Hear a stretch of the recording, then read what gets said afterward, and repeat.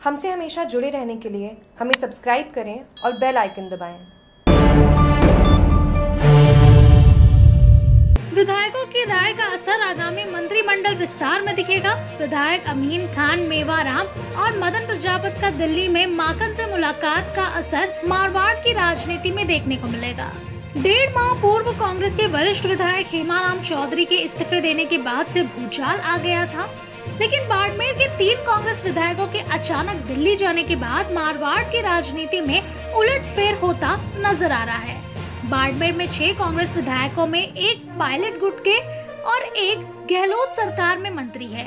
तीन विधायकों का दिल्ली जाना आगामी दिनों में होने वाले मंत्रिमंडल में उसका असर ज़रूर दिखेगा। और बाड़मेर में कांग्रेस की राजनीति में बड़ा उलटफेर होता भी नज़र आ रहा है। बाड़मेर विधानसभा सीट पर लगातार तीसरी बार कांग्रेस विधायक मेवाराम जैन जीत हासिल की है।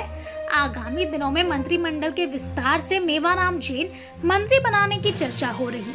सूत्रों साथ बाड़मेर में कांग्रेस राजनीति में बड़ा उलटफेर होता नज़र आ रहा। तीनों विधायक दिल्ली में ही बाड़मेर आने की विधायक बताएँगे। दिल्ली में बड़े नेताओं, चर्चाओं दौर जारी। बाड़मेर एक विधायक बनेगा मंत्री मेवालाल जैन, नाम के की घोषणा हो सकती।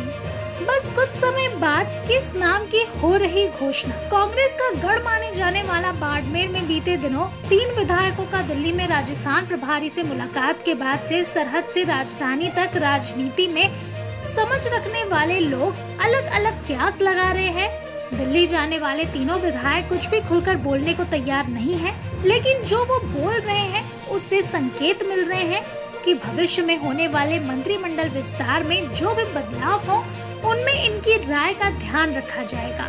और इसी मशक्कत के लिए उन्होंने प्रभारी अजय माखन से मुलाकात की है। सूत्रों के मुताबिक राजस्थान प्रभारी अजय माखन को राजस्थान के एक मंत्री की शिकायत भी की है। विधायकों ने तीनों में से किसी एक लिए मंत्री बनने की लाबिक भी की है। इन तीन विधायकों में से एक विधायक अमीन खान पिछली सरकार में राज्य मंत्री रह चुके हैं, लेकिन तत्कालीन राष्ट्रपति पर विवादित टिप्पणी के बाद उन्हें पद छोड़ना पड़ा था।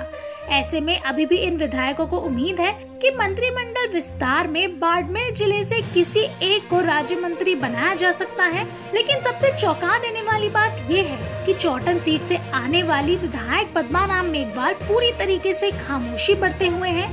वो भी सीएम अशोक गहलोत खेमे से आते हैं, लेकिन तीन विधायकों के साथ दिल्ली नहीं गए और यही चर्चा का विषय बना हुआ है। गौरतलब है कि बाड़मेर कांग्रेस का हमेशा गढ़ माना जाता रहा है। बाड़मेर विधानसभा सीट पर लगातार शख्स बार कांग्रेस विधायक मेवाराम जैन जीत हासिल की है। आगामी दिनों में मंत्रिमंडल के विस्तार के साथ बाड़मेर में कांग्रेस राजनीति में बड़ा उलटफेर होता नज़र आ रहा है। विधायकों की राय का असर आगामी मंत्रिमंडल विस्तार में दिखेगा। विधायक अमीन खान मेवाराम और मदन प्रजापत का दिल्ली में माखन से मुलाकात का असर मारवाड़ की राजनीति में देखने को मिलेगा। डेढ़ माह पूर्व कांग्रेस के वरिष्ठ विधायक हेमाराम चौधरी के इस्तीफे देने के बाद से भूचाल आ गया था। आगामी दिनों में मंत्रिमंडल के विस्तार के साथ बाड़मेर में कांग्रेस राजनीति में बड़ा उलटफेर होता नज़र आ रहा है। जागरूक टीवी की बाड़मेर ऐसी ठाकर राम मेघवाल की रिपोर्ट।